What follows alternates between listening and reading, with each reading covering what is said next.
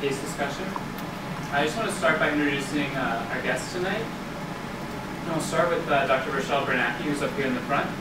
She's the Director of Quality Initiatives in the Department of Psychosocial Oncology and Palliative Care at Dana-Farber, and jointly appointed in the Division of Aging at Brigham and Women's. She's a palliative care provider and geriatrician, and has devoted her career to improving the care of patients with advanced life-threatening illnesses.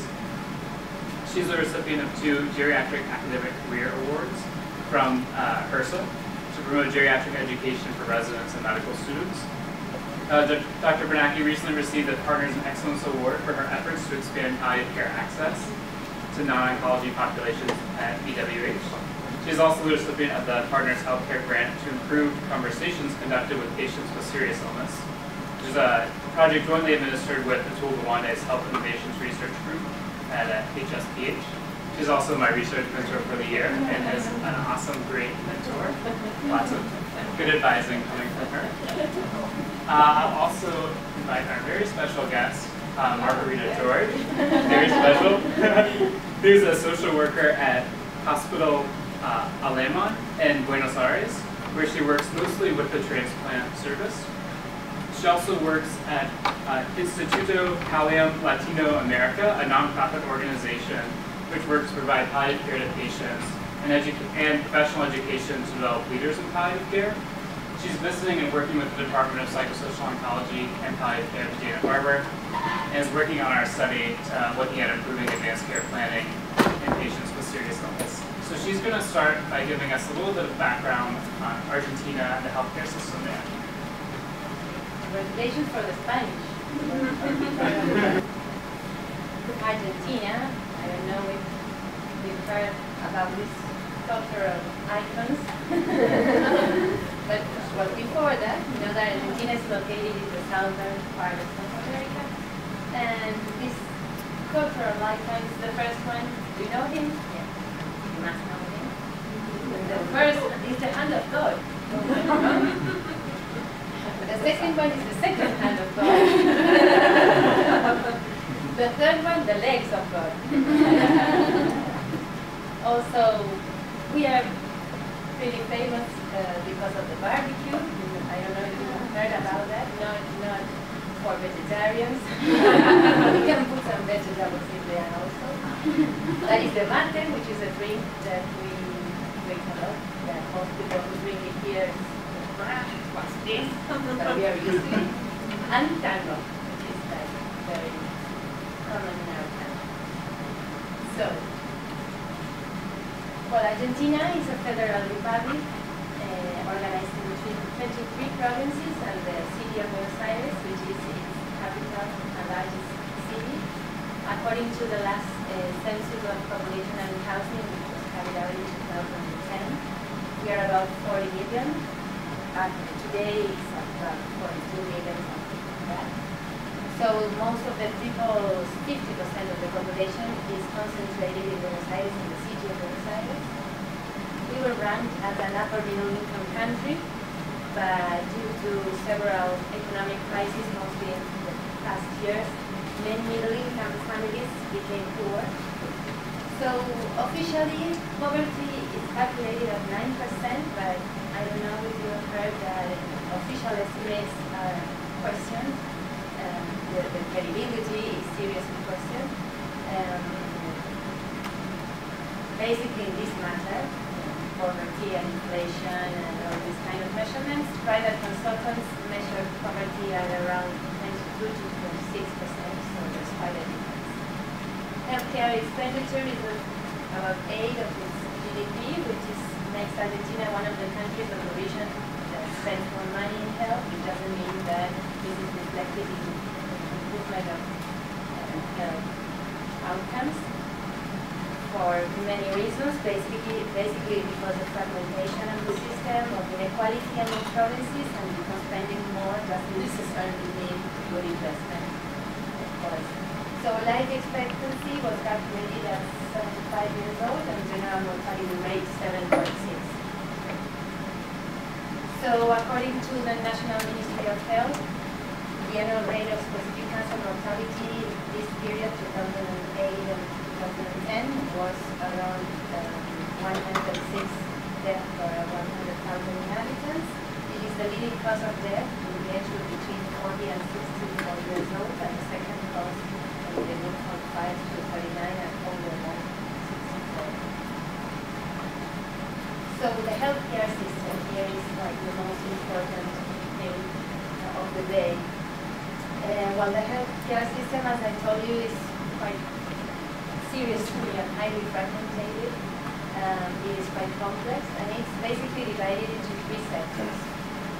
The three sectors are, uh, or the Ministry of Health oversees all three sectors, and the, they, they differ basically in providers, in types of affiliation, and in financial sources. The public system is highly decentralized, and it's composed by a network of public hospitals and primary care. It covers all the poor population and uninsured population, and is financed by, basically by taxes and by social security beneficiaries that use public hospitals. So the second sector is the social security or obras sociales, another word in Spanish, because it's hard to translate that. Obras sociales, it, it, it includes the workers' unions, which are organized according to the occupation of the beneficiary. There are over 300 obras sociales actually. And it also includes the retiree health insurance. It covers all workers under the formal economy and their families, and also retirees and their spouse and children under 18 years old. So uh, it is uh, financed by mandatory payroll contributions of employees and employers. And private sector that includes private providers and uh, prepaid health companies that have a wide range of different plans. It covers people with a great uh, earning capacity and of course it's voluntary and it's financed by the Department of Water and often overlaps with other types of coverage which, which is called double coverage. This is the case of uh, anybody that has works in any place and has obra social and and also want to hire a company that, I think you have it. This is the healthcare system, but in terms of the bigger picture, as you may know, the, the economic uh, system is divided into public, private, private, and the social economy or third sector. Which we have to mention here the first health issues that provide uh, care and uh, big in the public. So in terms of numbers, without counting the, the double coverage uh, population, we have almost 23 million people with insurance and over 17 without insurance. This last number has increased in the last years because of the economic crisis, the increase of unemployment, and the increase of employment in the. So for now, that's all. Then we will continue to the next one. Any questions up to now?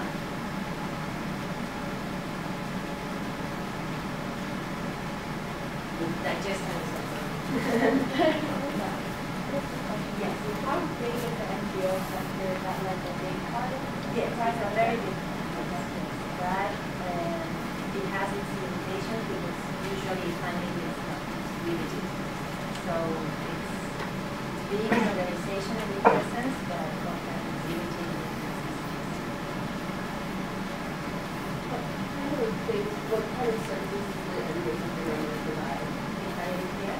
Well, in general, so how do- Well, uh, it depends on the issue. I mean, there, there are health you mean or you have the health product? Well, you have like, according, for example, to different diseases, NGOs that support families, that support patients, uh, others that may provide uh, medication or uh, like day centers, uh, directive assistance, uh, education, services.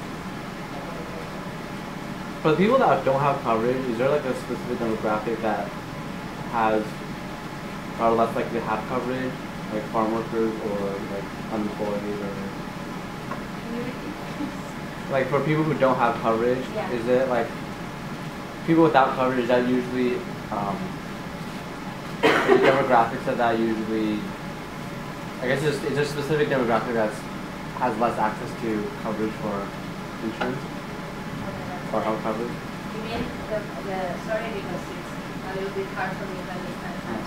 but, uh, You mean with people with double coverage? People, yeah, without coverage. Ah, without coverage. Uh-huh. Uh, so, Who are the who people? are those people? Yeah. people? Yes, may, people that don't, that are employed or that are employed in the formal sector, okay? And people that don't have, if they are not able to have a, I mean, the different ways to access to some kind of health coverage is if you work in the formal sector, if you're retired, age retirement or disability retirement, or if you pay uh, uh, for uh, health company. If you're unemployed and, or if you are employed in the informal sector and you don't have the economic resources to pay a health insurance, you don't have coverage, you will have to go to the public healthcare. It depends, generally, the place where you live, you will have a public hospital where you can go. Also happens that with the retirees, we is like individual care. Um, According to the place that you live, you will have one provider assigned and you can go out that, that provider. If you need medication, one doctor has to do the recipe and you have to go to that. The other options, increasingly social security and obviously much more the, the health companies will have more options. Are children, do children have any, is there state coverage for children or are they uninsured? They would, they, they are not covered by health insurance, but they have access to the, that is like two different will have access to children, public children hospital. Uh, obviously that with, there different situations, because, because access will be much more limited, that's for sure. In terms of communication, assistance, waiting, uh.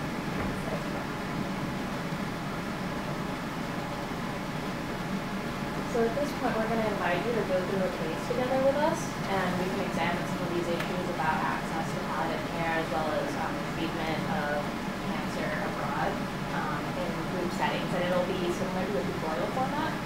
We're going to be divided into two groups, um, one representing the medical care team and then one representing the patients and family team. So um, if you'd like, we can like do this by your choice, or we can do a random number system. Oh, I'm 65 years old. I worked at a bank. Was a bank manager. I'm retired now. Uh, I'm married twice. My first wife passed um, 10 years after we were married. We have a, have a son. Uh, he's in his mid 40s. and lives in Chile. Um, actually got remarried again two years after my first wife's passing. And I have a daughter who's in her early 20s. And she lives about 30 miles outside of Buenos Aires and is pregnant. Um, I really want to enjoy my life with my wife now that I'm retired. Um, but, and my faith is important, even though I don't attend church as much as I want to.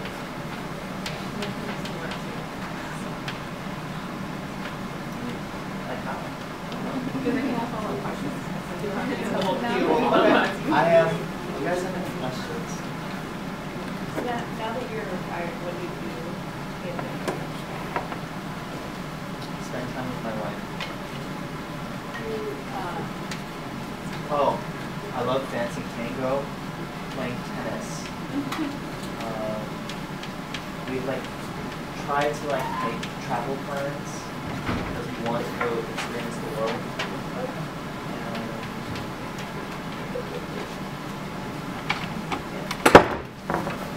you have a fixed income?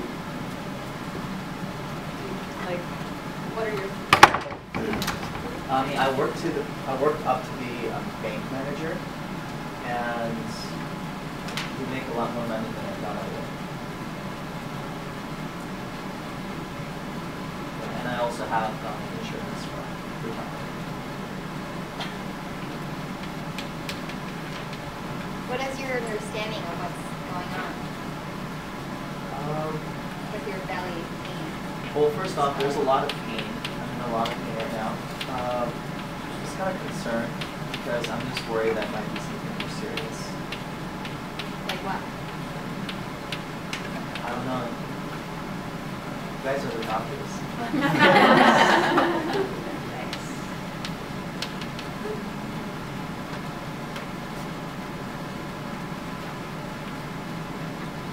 Is there anything I should do?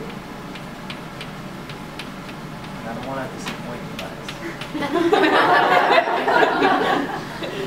No, you did the right thing by coming to the hospital. We're really glad you're here. Uh, we'll get some tests and see what's going on. But as the social work, worker team, we're here to make sure that you're well supported, uh, both when you're here and when you leave the hospital. So that's what we're going to focus on. So maybe it'd be interesting, I think, to hear from the patient or the medical team. Like, so you heard a little bit. Like, maybe go through some of your questions. Like, what do you think? Um, we know what you want to learn, but what are points of conflict that you see in this patient? Like, what are you worried about with this guy? Seems like very eager to complete the medical team. Um, And so he might be reluctant to ask questions or um, share his concerns or even like share the amount of pain that he's in. but, um, He's kind of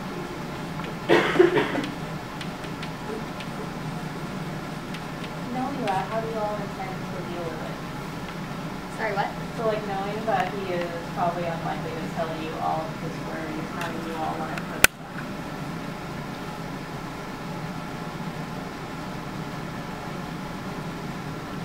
Spend more time getting to him, getting through the process. And cross-checking with his family to see what their perspective on the issue is and whether, like, their report matches up with yours. And then things also explicitly like address what you said, like I worry about this twenty, like since these anytime you're not gonna disappoint us, we want to provide you the best care possible, and we can do that is you tell us and learn after the meeting. And I think spending time working with him and his family, seeing really what their, their full understanding of, of his is, and then working with this physician as well. What do you think it is right now?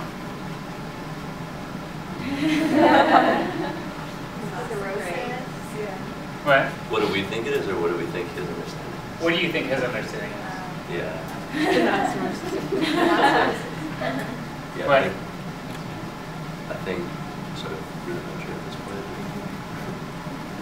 ask him questions along the lines of, so you've had some problems in the past, like, can you tell us more about that and like, what you've been doing for it? Fortunately, it also seems like he has a pretty good quality of life right now, and I think it's going to be hard to transition to the idea of getting sicker. And also his relationship with his son, and how that might factor in as his disease gets more serious. I think we have a list about his own disease. Oh, wait. How do you know about that? It's very interesting. Very interesting. So maybe the other way. Yeah. Coming to the sun is tomorrow, right? Sorry, it's all confused in my mind right now. She has been talking with your wife.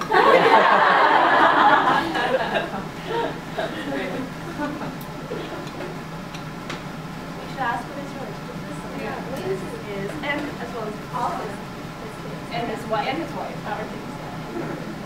Well, it's my relationship with my wife and daughter are fine, but the relationship with my son is not so good. I haven't seen him for over- five years, and there's not much communication. And I just think my son never forgave me for um, getting remarried to someone else. Given that your daughter is pregnant, how often do you have to see her? And what should this Well, Take something else. she lives 30 miles outside, so I do see her as much as I can. But your son is. Yeah. Yeah, but my son is in Chile, very far away. Have you tried, have you tried reaching out to them? or trying to get in touch with them? I don't know. Um, there's not much communication. I try, uh, but I don't think he's forgiven me yet. And I don't want to keep pushing.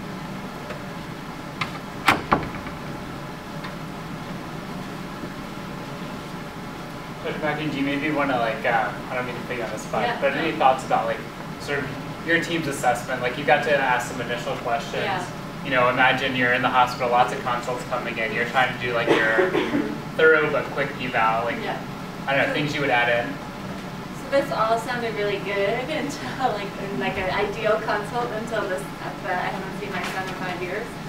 But, uh, so that would be a big red flag for me to say, uh, this is a guy who's potentially really sick, um, and we need, um, to find out, you know, does he want to talk to his son, or is that something that they tried, you know?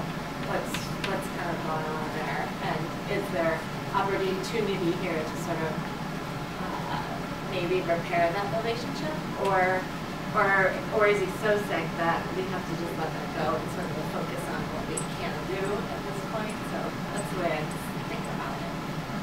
Um, it sounds like from, you know, from a financial, socioeconomic standpoint, things are pretty okay potentially, so that's good. Um, and in thinking about, um, uh, you know, eager to please people, um, yeah, I think it's a good, a good point of trying to get more information from the wife, because sometimes they're afraid to sort of tell you what's really going on. Okay. Do you guys want to move on to the next part? Then just, oh, Yeah, sorry, Ryan. I obviously I know the, the, the case, I, I have more time, and, but also, I mean, in terms of potential problems, and I think that here we, we, we should see that he he lives with his wife, that her son, his son is far away, her daughter is far away from home, she's having a personal situation which know, he wants to allow her maybe to su- support him at, at least at presence as much as maybe she would like. So his wife would be like quite alone in, in care, care, as a caregiver. Did you want to, do you one thing you want to, so before we go on to the next part of the case, Maggie's going to give you a little more background that'll help with uh, what's coming up next. another thing that sometimes is like difficult but for me to explain. Hopefully I I will explain it to you. Um, you know what we talked a few minutes ago about coverage, okay? Um, well, liver transplant law adds, add- adds something more to this picture. You know that according to the National Organ Transplant Law, patients with insurance will have the right to choose the transplant center they prefer. Yes? Why is it this? Mostly because uh, patients without insurance will go to the public hospital. And if there wasn't some kind of regulation of this type, many patients would end up in the public, public hospital and would be like more collapse. Why ma- many patients would be at the public hospital? Because imagine that transplant, in the, transplant um, process, the state, yes, the state covers the cost up to the public hospital cost. Yes, the transplant, all transplant process has a budget, and the state will cover up to the public budget. Okay. If a patient goes to another place, private or, or other place other than public, the social security or healthcare company will have to pay the difference. The state will also cover up to that public cost, but we have, we have to pay the difference according to the different services that a private hospital or other hospital should have. So this is important because not many patients know they have this right, so ma- many times we have to inform them. healthcare pro- professionals have to inform patients that if they have insurance, they can choose a different provider, only for transplant. So this will cover transplant evaluation, the basic backbone studies. If there is anything additional, they will go to their provider and go with the results to the medic, to the transplant team, okay? The it will cover also the transplant itself, of course, and the follow-up. But if there is any disease progression or complications uh, that need hospital admissions or something different as the usual follow-up, they will also have to go back to their usual provider. This, have I explained it? Yes. So another important thing is that in transplant, uh, follow-up will be less frequent along the, the, the years. Yeah, first it will be weekly, then monthly, and then sometimes every six months. So that's the situation. And, patient with a retiree insurance or with social security in a transplant situation may choose a different provider. And do, would they choose because it's maybe has better outcomes or? Basically because there's like more resources in terms of, uh, for example, the, big, the biggest difference is, for example, if you need to have the pre-transplant evaluation in a public hospital, it will take you maybe months to complete. Uh, In a private hospital, you have it in two days. So this kind of uh, situations may be linked to resources, to then- if, if this happens, so say they go to private, like they go far away to a private hospital and then, then they have some complication, and they have to go back to their home place, then is there a disconnect between them? If they, yeah, if they don't live in, for example, if you're talking about Aires and they live in another province, Uh-huh. uh, usually the, the social security or obviously the healthcare uh, companies which are like uh, uh, covers people with a greater earn- earning capacity and all that situation, these these problems won't happen because usually healthcare companies will cover almost anything. I mean, it's like more more more possible. But social security and retirement security will have these problems. If lives in another province and he has like a complication, he may have obtained coverage, which is the most unlikely situation, but most likely he will be referred to a hospital in the province. That is possible, and he, he has no problem to go to the province, that, that will happen. I mean, they will decide in terms of the better uh, outcome for the patient, but with much more limitations than, healthcare. But the thing is that this is, this is why a patient with a retiree insurance can be uh, transplanted in a private hospital. Go back and ask the patient or the patient's wife, because they're patient and family, some more questions. You can do that as well. So why don't the medical team can start and then patient and family can go sort of second. So if you want to start, you can just start with like sort of how you answer your questions. Fine. So we folks uh, sort of focused our discussion on uh, mainly if we thought that transplant was the right decision for him, given that um, he was so confused now what level of understanding of the transplant he had. Um, and then we sort of talked about um, this idea of transplant versus palliative care, whether or not they're mutually exclusive things, um, whether or not, uh, yeah, basically that's it. The last question you can answer, the treatment options, um, we were weighing the different options of what would happen if he did not have the transplant, what is his prognosis, and what is his prognosis if he does get the transplant, will he be able to return to the quality of life he had prior to it, um, how probable is that? And there are some people that we don't really know, but the transplant does seem to be the best option or given best chances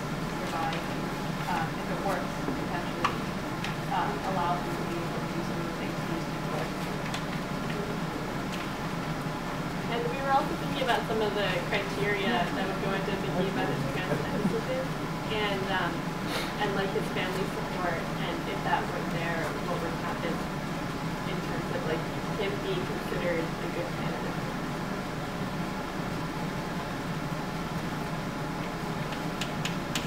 Are you actually gonna answer those questions, or are those questions you guys have? We don't have any of those answers. Uh, Yeah, okay. we're wondering. We were just bringing them up as issues. Well, yes, that, that, that's the, a big, big issue, the support thing. And what we usually try to do is work to strengthen that, that support. And, and, and that's what, we always say that the, the team is there to, to work with these challenges. I mean, it, it, it must be like a very extreme case in order to really not consider a transplant opportunity. But if we see several um, ways, at least at least one or two or one way in which we can uh, go on and work with the family, we will, we will try. Sometimes it goes well, sometimes it doesn't. That's the, the situation, but I mean, many times in the first view, things aren't ideal. Um, are the last cases that in the first interview, the first knowledge information that family can say, well, everything's quite good. Most of the cases are the opposite or close to the opposite. So what we try to do is to work to, uh, to help the conditions to be better. So I'm just gonna re-summarize maybe a little bit what we heard from this group. It sounds like this group was pretty concerned of like, and how much did the patient want this? Because it was kind of unclear with this encephalopathy. But um, it sounds like the, the wife was like pretty sure what what she wanted. There is some concern um, about like how much information was able to be communicated to him, and if they'd be ready to ha- and have the social support to sort of take care of this. What were you guys thinking? What was the patient and family like? What was your thoughts about what you wanted to know, what you were worried about, what you valued going into this? Yeah, I think for us, uh, a big concern was whether or not we can make sure that his like long-term life goals be met for him to be in a relationship with his son. Um, whether this would actually like what is the prognosis with the transplant? How functioning would he be, and like what would we be dealing with, and how well we would be able to support that. Uh, we're also wondering what happened before because we thought that um, he got treated for this two years ago and he was supposed to be cured for it.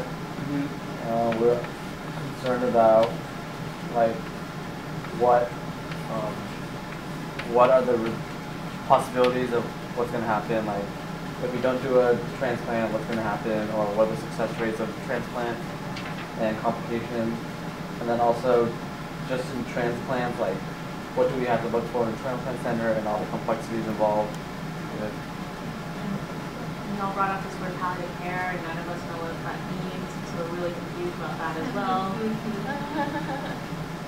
Let's save that one for the next segment. uh, but it sounds actually like people are kind of on the same page. Like the doctors are concerned about and not sure. There's a lot of uncertainty in the room about like what's the prognosis? Was this the best decision? It's kind of unclear. And we were talking in our group that like with liver transplants, like it's and any transplant, is like I don't like hopefully it goes well, and you hope the person doesn't get like graft versus host disease or like lots of complications. But a lot of times up front, it's really hard to make that prediction. Like no one has a crystal ball.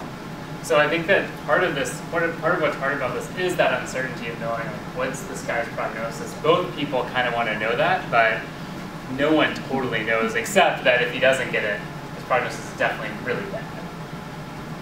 So we had a lot of like internal debate here, like was this the right thing to do? And we're sort of like uncertain because of all those lingering questions. but then I think what you guys are saying almost makes it a little bit better, right? That is, his life is definitely not good now, and even though it's uncertain, it's like it seems like this is consistent with what he maybe has said in the past, and maybe it's okay to do it.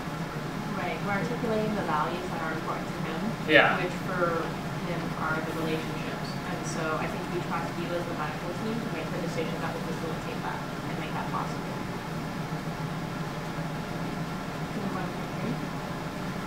For, for the sake of time, should we move on to part three? Yeah, unless any other last final comments on this part between the two groups, or things you feel like you need to ask from the patient side, or what you want to know about their perspective and vice versa. So what do, what do you know about like is like is his mental status actually reversible through a transplant? Or do you Is it guys- what? Like could you re- like will his mental status reverse and get better back to the way he was before with a liver transplant, or is it like permanent and you're just making it not work, not as bad? It should get better with a transplant. You don't know for sure that it will, but it's not gonna get better if you don't do anything. Like, unless you, you- if you tried lactose and you did clear, it's not gonna get better on its own. Okay, let's go on to part three. Second. Has a lot to say.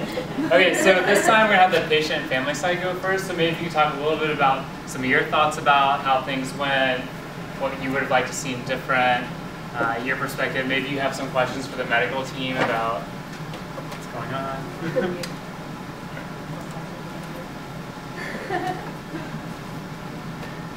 Um, so we're really annoyed that like everything was going really well. I mean, he had more follow-up experience, like more follow-up visits and stuff than we kind of expected. But once things started going downhill, like everybody just kind of seemed to not want us to be around. Like the public hospital doctors were were were kind of like sent us home really quickly, and the transplant team was like, we like don't feel like the transplant team supported us at all.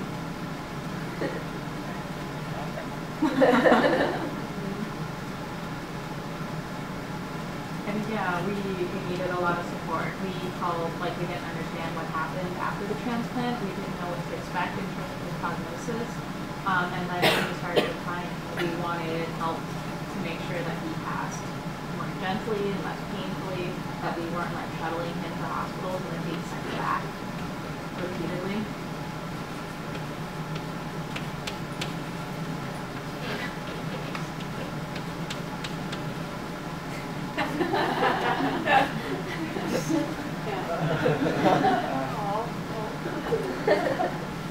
Okay, so it sounds like the patient is like pretty unsettled, unhappy with what happened.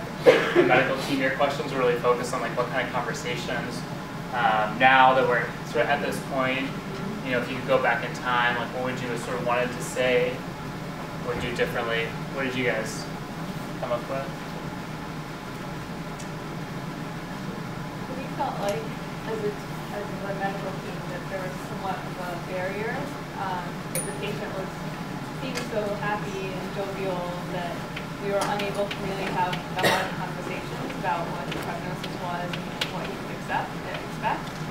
Um, and especially since his wife also uh, thought that maybe he should be knowing his prognosis.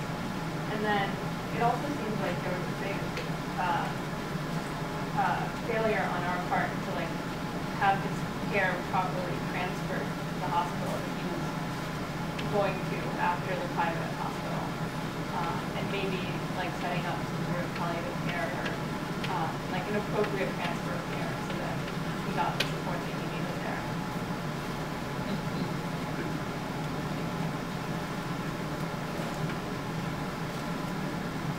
So patient side, you guys thought a little bit about like other things that you would have wanted and reflect some of the things that the medical team sort of feels like they didn't help you out on. Could you guys talk a little bit about what you all talked about in terms of what you wished could have happened? Um, it would have been nice if there'd been like someone around to help us through the whole thing, who like, stayed with us the whole time. Um, and definitely we didn't want him to end up like I mean, our husband really died in pain, and we really didn't want him. Like it was not nice. That was not like a.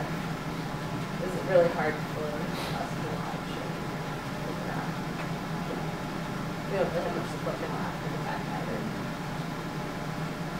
I think like the communication, like we didn't know what to expect um, in terms of after the transplant, and then like once it started deteriorating, we didn't know what was gonna happen until like obviously when everything like went down the toilet, then we kind of saw that what was happening. But up until then, like it's like you get hope, and then you're like nurturing it, and then it's like it's crushed, and then now you're left like worse off than you were. And I think that um, we always presented a very like joyful face to you all, but that was just because we ourselves were kind of nervous about what was going on. We kind of had an expectation that the healthcare team would be the one to reach that conversation. So maybe, uh, medical team, what do you think, um, what were the bar, it sounds like you got a good plan about what you would have liked to have done. What do you guys think were some of the barriers to achieving that?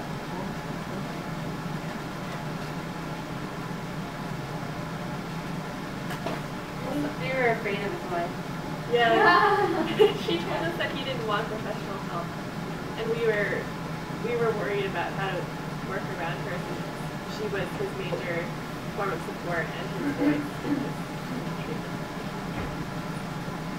So maybe I think like as time is sort of wrapping up, it might be nice, Maggie, if you could maybe just give us sort of what happened after the patient passed away to give like an update. And I think maybe the question we can leave people with is like some of the, like how do we kind of bridge the gap between these things? Like this was like not a great uh, death for this patient. Maybe Dr. Bernanke, you could give us a little bit of like what, what could this have looked like in the States? And like what would it, I know Matt, you also maybe could conclude with the, your sort of more positive story where things really worked well for a patient. I personally will never forget this patient. It was really difficult. Personally, for me, it was actually difficult. And he was, was, apart from the visible things, he was very nice and we really had a good relationship. The good thing is that I think that he helped us make some changes in how things, how, how to manage things.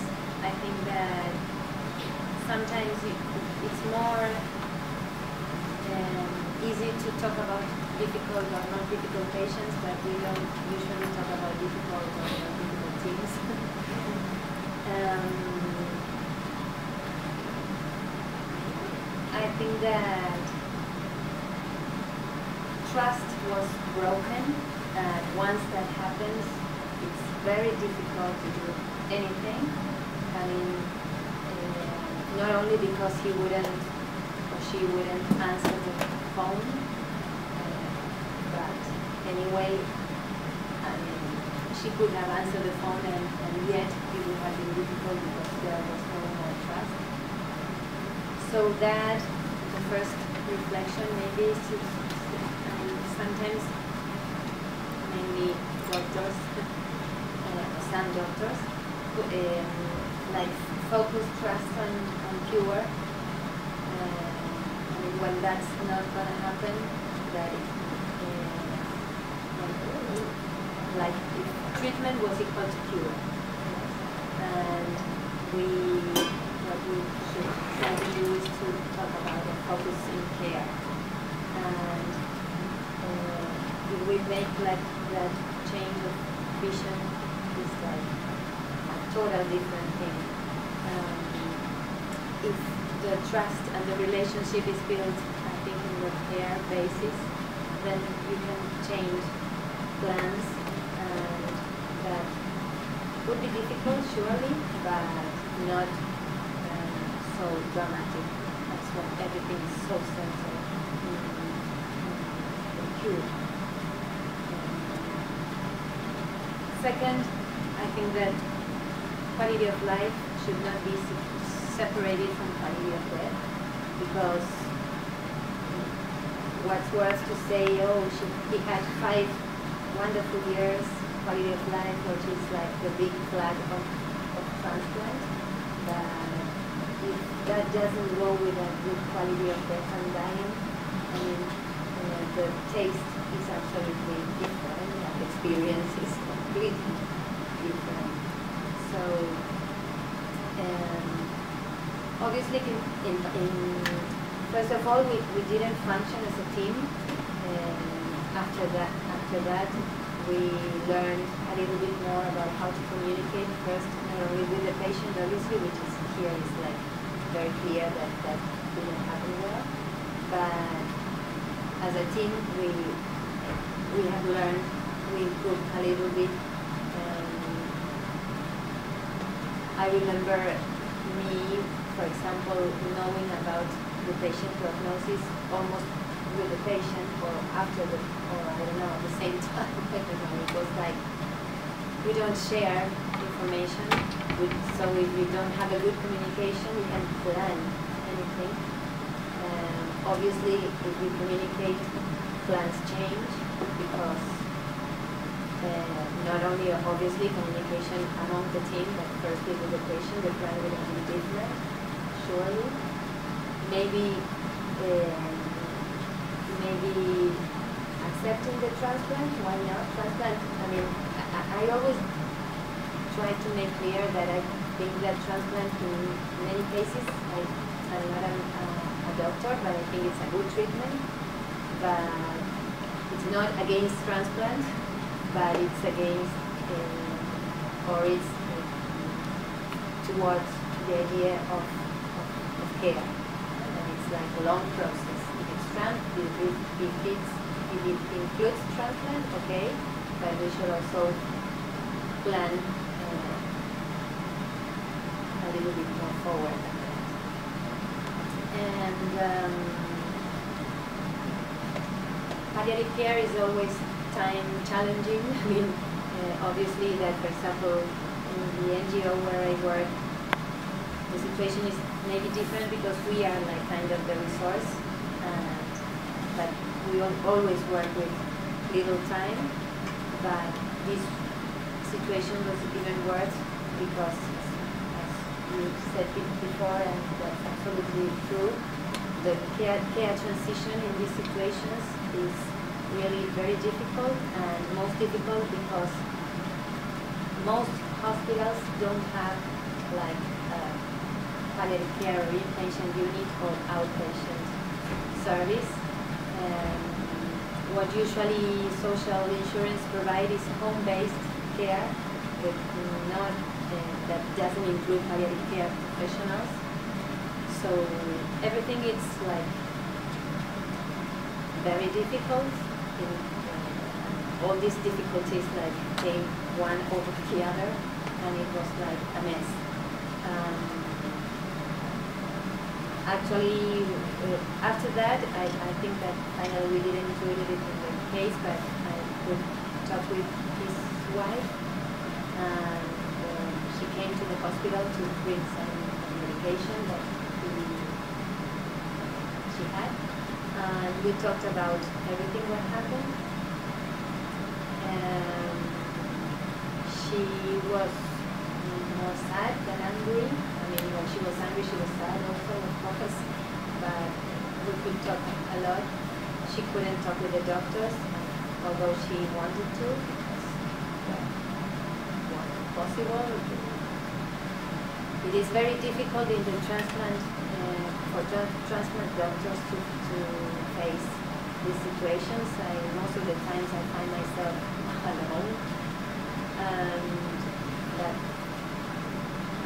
I, I, I mean I to be alone there, but I think the patient needs, and this particular patient and wife needed the doctor. I mean they were like very doctor centered, and they needed his information, his communication. So, well, she could have a bereavement coun- counseling and things like continued, obviously. But it was a very difficult case, as I told you, that uh, personally I won't And I think that hopefully, hopefully we, we could uh, make some little changes. Uh, and hope, hopefully we will improve in the future. I've been very many times in the, in the like period. Uh, what, what am I doing here? Afterwards, and actually, I'm more than mm, why not? And as I told you before, I think that it's good to try to, I mean, challenges are, are interesting. You, I think life is like that and you will, in your profession, you will, or you will find yourself many times in a place where you have to, like we did today, uh, think about potential problems, uh, actual and potential problems, actual potential resources, and help the patient and the family and become a team together and try to focus on care uh, according to the patient's, the patient's values and, and, and goals and be there. That is like the most. Maybe, Craig, you just want to have any like closing thoughts or? Yeah, sure, sure. So, um, I mean, I think palliative care definitely could have helped, you know, either when he went to get his transplant or, um, you know, I think a lot of us fear, um, doctors, nurses, social workers, talking to people about prognosis and advanced care planning, but there's no evidence to show that it takes away people's hope, which was someone that was someone was saying. Um, there's absolutely none, and there's no the evidence to show that it increases anxiety and actually shows that people get less aggressive care, better quality of life. So this is sometimes uh, something I share with patients and say, you know, by talking about this, we know that the, the, your, the chances of you having better quality of life and end of life and for your family having better bereavement, is the evidence is there. So we could do that.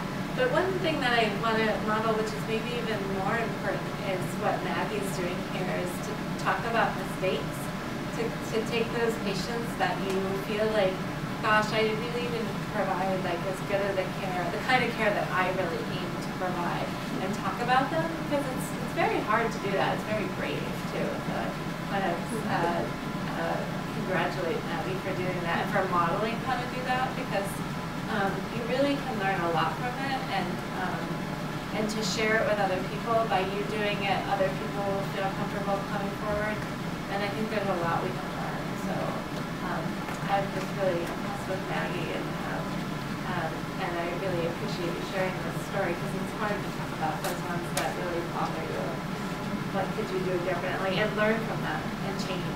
So I guess that's it. Thank you guys so It says, uh, one li- last, Yeah, yeah. another quick thing, that sometimes um, it is, we don't have like the palliative care, we won't have a palliative care team or, or sometimes it's, even though we, we may have, we may be in a team, sometimes it's not realistic to think that we will be able to be everywhere. But to, to, to, to develop and, and share and, and, and, and work in these palliative care principles is like essential to every team, from primary care to, to palliative care itself. Thank you guys so much. Thank our